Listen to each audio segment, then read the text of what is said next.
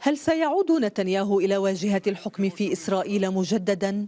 رفع بضعة آلاف من اليمين الاستيطاني المتطرف شعار إسرائيل تنزف خلال تظاهرة في القدس المحتلة دعا فيها رئيس الحكومة السابق حكومة بنت إلى الاستقالة لكونها ضعيفة أمام إيران والإرهاب على حد قوله طبيعة الائتلاف الموجود في الحكومة الإسرائيلية هو ائتلاف متناقض ومكون من ثمان أحزاب ما بين اليسار والوسط واليمين بالإضافة إلى حزب عربي ولكن كل هذه الأحزاب كانت متوحدة لهدف واحد وهو إسقاط حكم نتنياهو اللي استمر لحوالي 12 عام.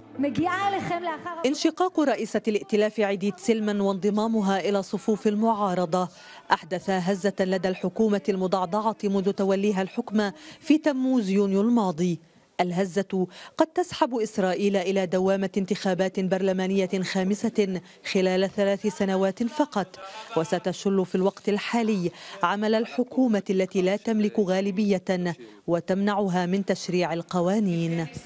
ما نواجهه هو أننا أمام كتلة صهيونية صماء. وجميع من فيها هم إما متطرفون أو متطرفون أكثر من الآخرين. هذه الكتلة الصماء تتنافس فيما بينها على الإيغال في الدم الفلسطيني. قرار إدخال الخميرة إلى المستشفيات خلال عيد الفصح العبري بما ينافي مواقف المتدينين أطلق شرارة الخلاف في حكومة زادت تخبطاتها بعد موجة العمليات الفلسطينية الأخيرة. قد يحذو مزيد من نواب كتلة يمين حزب رئيس الحكومة حذو زميلتهم ولكن نتنياهو لن يتمكن من إقامة حكومة إلا بسيناريوهات مستبعدة. حتى لو أجريت انتخابات برلمانية جديدة بحسب استطلاعات الرأي الأخيرة فإن أزمة الحسم لن تحل.